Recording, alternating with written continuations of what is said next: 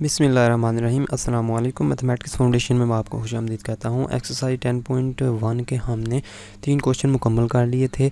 अब चलते हैं क्वेश्चन नंबर फोर की तरफ़। क्वेश्चन नंबर फोर में देखें ज़रा, ये जो पहले क्वेश्चन थे, पहले तीन, इनमें जो लिमिट्स थी, वो कांस्टेंट लिमिट्स थी, ठीक है?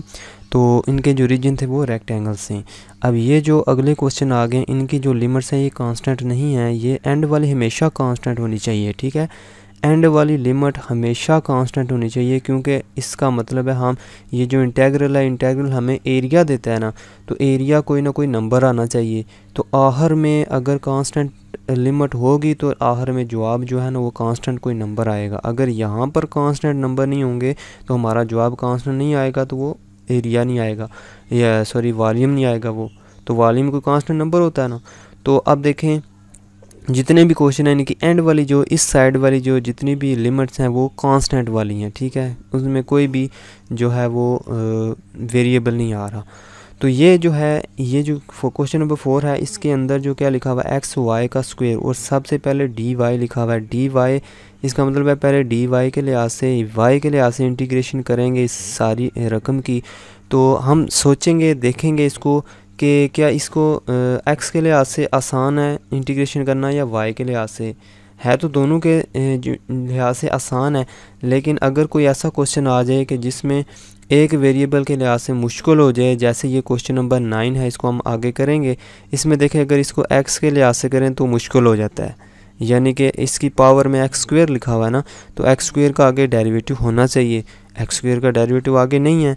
इसका मतलब है एक्स के लिहाज से इसकी इंटीग्रेशन हम नहीं कर सकते। इसको वाई में चेंज करना पड़ेगा, इस लिमिट्स को, या डी वाई इधर बनाना पड़ेगा। तो डी वाई हम ड्रा करके इसके रीजन को, इस रीजन को ड्रा करके हम इसको चेंज कर सकते हैं। चलें, इसको स्टार्ट करते हैं, क्योंकि ये हम इसकी इंटीग्रेशन आसानी के साथ कर सकते हैं पावर रूल लगा के। तो इसको हम सिंपल ही इसको इंटीग्रेशन कर दें। हमारे पास गिवन जो इंटेग्रल है, वो ये है। अब इसमें देखें, इधर डी वाई लिखा हुआ है, इधर वाई लिखा हुआ है तो ये क्या होना चाहिए, इस साइड पर y इज़ इक्वल टू होना चाहिए, ये भी क्या होना चाहिए, y इज़ इक्वल टू और आखिर में एक्स लिखा हुआ है तो ये क्या होना चाहिए, x is equal to zero और x इज़ इक्वल टू होना चाहिए तो अब, क्योंकि हम डी वाई के लिहाज से पहले इंटीग्रेशन करेंगे तो ये वाला जो हिस्सा है, ये वाला ये वाला हिस्सा है जो पहले इसी इंटीग्रेशन हो जाएगी। अब एक्स वाई के लिहाज से कॉन्स्टेंट है, इसको एज इट इज़ लिख देते हैं ऐसे ही, ठीक है? और y की इंटीग्रेशन करेंगे तो पावर रूल लगाएँगे। y की power three divided by three हो जाएगा और इसकी लिमिट कहाँ से कहाँ तक है? लिमिट है इसकी एक्स स्क्वेयर से लेकर x तक है और y है इधर। y की जगह ये चीज़ रखनी है। y की जगह, ठीक है? बाहर क्या है? D x is equal to zero से लेकर वन तक। इसमें लिमिट्स लगा देते हैं। वाई की जगह पहले एक्स रखते हैं तो कितना हो जाएगा? एक्स इंटू एक्स का क्यूब हो जाएगा तो एक्स की फ़ोर हो जाएगी, ठीक है? X four divided by three, फिर माइनस वाई की जगह पे एक्स स्क्वेयर रखेंगे। इसकी जगह पे एक्स एक्स तो एज इट इज़ लिखेंगे एक्स, ठीक है? वाई की जगह एक्स स्क्वेयर रखेंगे तो थ्री टू ज़ा सिक्स हो जाएँगे, एक्स की power six divided by three, और इसकी जो साथ में हम डी एक्स लिख देते हैं। और इसके साथ x भी था ना, ये वाला जो x है, इसके x, इसके साथ ज़रब हो के x की पावर सेवन हो जाएगा ये। तो ये हमारे पास y के लिहाज से इंटीग्रेशन जब हमने कर दिया है तो y देखें बिल्कुल ही ख़त्म हो गया है। y जब ख़त्म हो गया तो अब x की बारी है। x के लिहाज से इसकी इसकी इंटीग्रेशन करते हैं तो वन बाई थ्री जो है इसको बाहर लिख देते हैं। इस पर पावर लगाते हैं एक्स की पावर फाइव हो जाएगा डिवाइड बाई फाइव ठीक है? माइनस इसकी इंटीग्रेशन करते हैं वन बाई थ्री बाय लिख देते हैं डॉट एक्स की power seven plus one eight होता है डिवाइडेड बाई एट और लिमिट क्या है? ज़ीरो से लेकर वन तक इसकी लिमिट है। पहले ऊपर वाली लिमिट लगा देते हैं वन बाई थ्री तो वन रखते हैं इसमें। डॉट वन बाई फाइव हो जाएगा। वन की पावर फाइव वन ही होता है माइनस इसमें रखते हैं one by three one by eight हो जाएगा। फिर माइनस नीचे वाली लिमिट रखेंगे तो ये भी ज़ीरो हो जाएगा, ये वाला भी, ये वाला भी ज़ीरो हो जाएगा। तो हमारे पास क्या बचा? One by fifteen minus one by twenty four. तो वन बाई फिफ्टीन और वन बाई ट्वेंटी फोर का जो एल सी एम है, वो क्या होता है? एल सी एम हम इसका निकाल लेते हैं इधर फिफ्टीन और ट्वेंटी फोर का हम एल सी एम निकालते हैं। थ्री से डिवाइड करते हैं, फाइव थ्री ज़ार फिफ्टीन, एट थ्री ज़ार ट्वेंटी फोर। तो एट फाइव ज़ार फोर्टी फोर्टी थ्री ज़ार यानी कि वन ट्वेंटी। इसका एल सी एम क्या आता है? One twenty. तो इसके नीचे हम वन ट्वेंटी लिख देते हैं। पंद्रह को आठ से मल्टीप्लाई करें तो वन ट्वेंटी आता है माइनस चौबीस को तीन से ज़रब दें तो एक सौ बीस आता है, आठ में से तीन सॉरी पाँच से ज़रब दें। पंद्रह चौबीस को पाँच से ज़रब दें तो हमारे पास वन ट्वेंटी आता है। तो इधर पाँच आना चाहिए थ्री बाई वन ट्वेंटी आएगा। फिर इसको काट सकते हैं हम थ्री वन थ्री फोर्टी आएगा नीचे वन बाई फोर्टी इस क्वेश्चन का आंसर आता है तो इस इंटेग्रल का जो एरिया है या इस फ़ंक्शन के नीचे जो एरिया सॉरी जो वॉल्यूम आता है, वो कितने यूनिट आता है? वन बाई फोर्टी यूनिट्स आता है। उसके बाद आ जाता है question number five question number five देखें।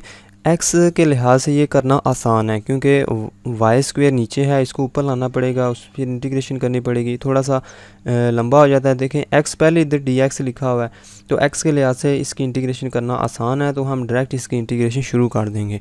वन से लेकर टू तक, यानी कि डायरेक्ट शुरू कर देंगे इंटीग्रेशन करना, हम कोई भी लिमिट चेंज नहीं करेंगे। लिमिट चेंज करने वाले क्वेश्चन आगे आएँगे तो वो आप जो है ना, वो आगे समझेंगे, ठीक है? तो यहाँ से एक्स के लिहाज से इसकी इंटीग्रेशन क्या होगी? एक्स की x square divided by two हो जाती है और वन बाई वाई स्क्वेयर इसके लिए कांस्टेंट समझेंगे। एक्स के लिहाज से one by y square constant है तो हमने किसकी इंटीग्रेशन की है? सिर्फ़ एक्स की। एक्स की पावर टू हो जाएगी डिवाइडेड बाई टू और ज़ीरो से लेकर इसकी क्या है जी limit three by two y की पावर थ्री बाई टू साथ में डी वाई डी वाई लिख देते हैं। अभी हम लिमिट्स लगा देंगे एक्स की जगह। ज़ीरो से लेकर वन तक इसकी लिमिट है सॉरी वन से लेकर टू तक इसकी बाहर वाली लिमिट है। One by y square x के यहाँ से कॉन्स्टेंट है तो उसको बाहर लिख देते हैं, वन बाई वाई स्क्वेयर, ठीक है? तो और साथ में टू भी बाहर आ जाएगा, टू वाई स्क्वेयर। तो एक्स स्क्वेयर की जगह हम ये वाली लिमिट लगाएँगे, वाई वाई की पावर थ्री बाई टू जब लिमिट लगाएँगे तो वाई की पावर थ्री बाई टू और एक्स का स्क्वेयर होने की वजह से बाई पावर टू भी लगाएँगे, माइनस जब नीचे वाली लिमिट ज़ीरो लगाएँगे तो ये ज़ीरो हो जाएगा साथ में डी वाई लिख देते हैं। तो अब देखें टू टू से कट जाएगा और ये वाई स्क्वेयर है वाई क्यूब से कट जाएगा। तो हमारे पास सिर्फ़ रह जाएगा वन बाई टू को हम बाई लिख देते हैं वन बाई टू वन से लेकर टू तक और इधर वाई क्यूब और वाई स्क्वेयर नीचे इससे कट जाएगा, सिर्फ़ वाई रह जाएगा डी वाई लिख देते हैं। Is equal to one by two one by two और y square divided by two इसकी इंटीग्रेशन हो हो जाएगी वन से लेकर टू तक लिमिट है। ठीक है? तो one by two into पहले लिखते हैं two square divide by two फिर लिखते हैं नीचे वाली लिमिट वन वाई की जगह वन का स्क्वेयर डिवाइड बाई टू तो हमारे पास आ जाएगा वन बाई टू और इसका एलसीएम टू आएगा four minus one three by four इसका आंसर आएगा four minus one three one ज़र थ्री टू टू ज़ार फोर तो ये इसका, इस क्वेश्चन नंबर फाइव का आंसर है। देखें सिंपल से क्वेश्चन है। तो उससे अगला क्वेश्चन है question number six question number six को हम इधर लिखते हैं ज़ीरो से लेकर वन तक और एक्स से लेकर अंडर रूट एक्स तक लिमिट है। वाई प्लस वाई की पावर थ्री और डी वाई डी एक्स सबसे पहले तो हम देखेंगे इसकी इंटीग्रेशन वाई के लिहाज से हो जाती है कि नहीं। अगर नहीं हो जाती तो हम इसकी लिमिट को चेंज करेंगे, इधर डी एक्स ले आएँगे। देखें वाई की सिंपल इंटीग्रेशन वाई से हो जाती है वाई क्यूब की भी हो जाती है, ठीक है? तो कोई मुश्किल नहीं है, हम डायरेक्ट इसकी इंटीग्रेशन कर देते हैं। इसकी लिमिट हम चेंज नहीं करेंगे। ज़ीरो से लेकर वन तक और वाई की इंटीग्रेशन क्या होती है? Y square divide by two plus y cube की इंटीग्रेशन क्या है? Y four divided by four क्योंकि three plus one four divided by four हो जाएगा। और लिमिट क्या है? एक्स से लेकर अंडर रूट एक्स तक और बाहर हम डी एक्स लिख देते हैं। अब सिंपली लिमिट्स लगाएँगे इसमें और ज़ीरो से लेकर वन तक ऊपर वाली लिमिट लगाते हैं under root x under root x ठीक है? इसका square divide by two plus फिर इसमें भी ऊपर वाली लिमिट लगाएँगे अंडर रूट एक्स इसकी power four divided by four फिर नीचे वाली लिमिट एक्स है। X square divided by two plus sorry minus आएगा। माइनस एक्स की पावर फोर माइनस एक्स की power four divided by four बंद कर देते हैं और बाहर लिख देते हैं डी एक्स यहाँ से लिमिट्स ये वाली इससे कट जाएगा। एक्स डिवाइडेड बाई टू और ये वाला जो है इसकी पावर अंडर रूट इसकी पावर एक्स स्क्वेयर हो जाएगी। X square divided by four जब इससे काटेंगे, यानी कि एक्स की पावर वन बाई टू इसकी पावर फोर है टू टू से काट के ऊपर टू रह जाएगा फोर से काट के तो एक्स स्क्वेयर हो जाएगा minus x square divide by two minus x four divide by four इसको हम बंद कर देते हैं। डी एक्स और ज़ीरो से लेकर वन तक। मज़ीद सिंप्लीफाई कर लेते हैं। या इसको इंटीग्रेशन कर लेते हैं इधर ही। इंटीग्रेशन निकाल लेते हैं, ठीक है? तो वन बाई टू है। One by two as it लिखते हैं एक्स की इंटीग्रेशन क्या होगी? X square divide by two plus one by four as it is लिखते हैं एक्स स्क्वेयर की इंटीग्रेशन क्या होगी? X three divide by three minus one by two as it is लिखते हैं, एक्स स्क्वेयर की इंटीग्रेशन क्या होगी? X cube divided by three, ठीक है? माइनस वन बाई फोर है, डॉट एक्स की फ़ोर की इंटीग्रेशन क्या होगी? X five divided by five. तो इसकी लिमिट क्या है?